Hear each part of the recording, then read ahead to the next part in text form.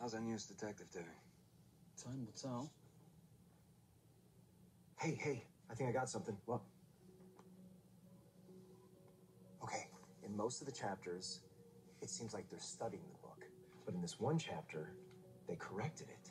This is my version of the Hansel and Gretel story. But look what the killer wrote on it. No happily ever after. Remember Gretel. Ovens make the deepest burns, which, you know, that's oh, look, also they underline twins. Wait, so the killer thinks that he's living in the Hansel and Gretel story? And in their version, Gretel died. So in our killer's mind, he's Hansel, avenging his sister's death. Also, he's obsessed with scars, so maybe there was a fire or something in real life. Nice work.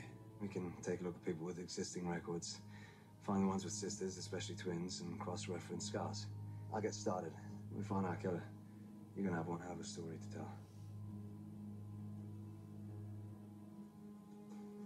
So I suppose it's finally time for you to catch a flight.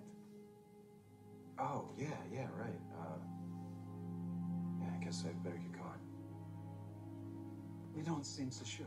Yeah, I am. It's a great opportunity. Now you sound like you're trying to convince yourself. What do you care? I already helped you. Okay, we're done. We are. But, as I said, Henry Mills was my favorite character in the book. He always knew the right path. And I just hate to think his namesake would choose the wrong path. Enjoy New York.